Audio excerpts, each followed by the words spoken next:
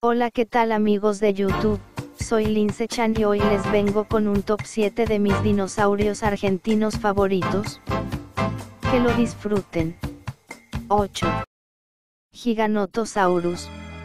El Giganotosaurus era un dinosaurio terópodo carcharodontosaurido.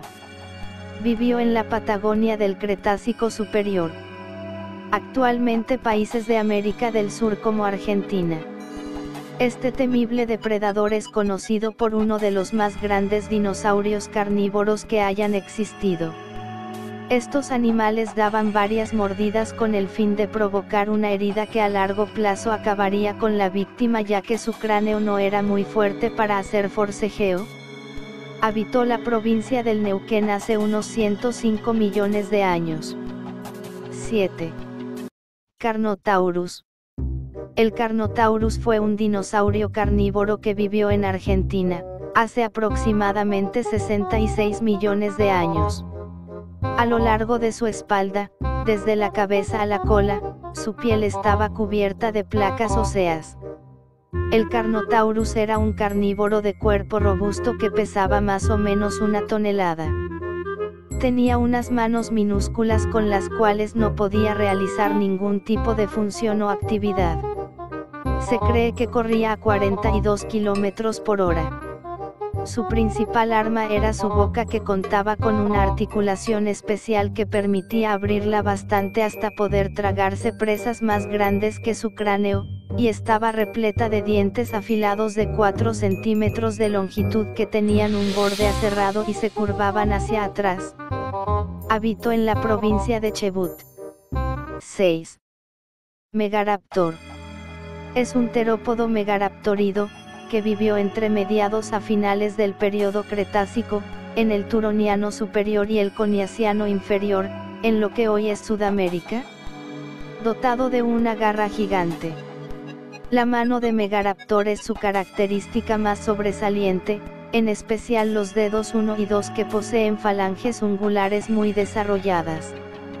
Estos huesos que soportaban las garras estaban fuertemente comprimidos lateralmente y poseían un notable tubérculo flexor. Habitó en la provincia de Nucán. 5. Eoraptor lunensis.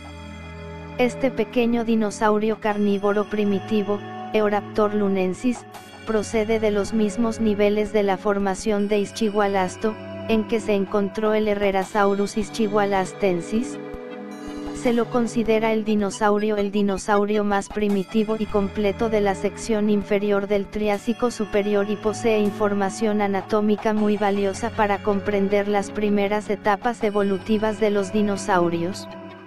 Habitó en la provincia de San Juan. 4. Pterodaustro. Es un género de pterosaurios pterodactiloideos del Cretácico inferior que vivió hace 105 millones de años en el Albiense, en lo que hoy es Sudamérica. Para aprovechar las grandes cantidades de crustáceos y otras pequeñas criaturas que viven suspendidas en el agua, el pterodaustro adaptó su pico para filtrar su alimento con más de 500 largos y angostos dientes. Tenía una cabeza larga y estrecha, un pico curvado y una mandíbula inferior con un millar de cerdas largas y elásticas con las que barría los fondos de lagunas y mares poco profundos. Habitó en la provincia de San Luis. 3. Patagonicus. Fue un terópodo perteneciente a la familia de los alvaresáuridos, vivió hace 90 millones de años en el Cretácico tardío, en Sudamérica, Argentina, de dinosaurio, vivió en el Cretácico superior hace 90 millones de años. Se lo encontró en la localidad de la Sierra de Portezuelo. Medía 2 metros de largo y se lo catalogó como un ave primitiva, no voladora, de un tamaño similar al de un ñandú.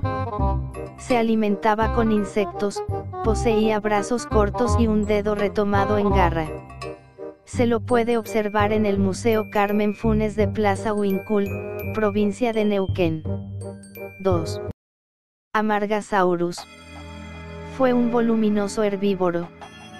Poseía unas altas espinas que se bifurcaban y nacían en algunas vértebras, y entre ellas había piel que tenía una gran cantidad de vasos sanguíneos que servían para ayudar a regular la temperatura y también, en la época de apareamiento, la cresta de los machos se tenía de vivos colores que servían para atraer a las hembras y espantar a los depredadores. El cuerpo de Amargasaurus siguió el plan típico de un saurópodo, con una larga cola y cuello, la cabeza pequeña, y un tronco en forma de barril soportado por cuatro patas en forma de columna. El cuello de Amargasaurus era más corto que en la mayoría de otros saurópodos. Habitó en la provincia de Nucán. 1. Argentinosaurus. El Argentinosaurus fue un saurópodo perteneciente a la familia de los titanosaurios, que vivió en el Cretácico superior. Era uno de los mayores dinosaurios de todos los tiempos y de los animales más grandes que alguna vez estuvieron en la Tierra.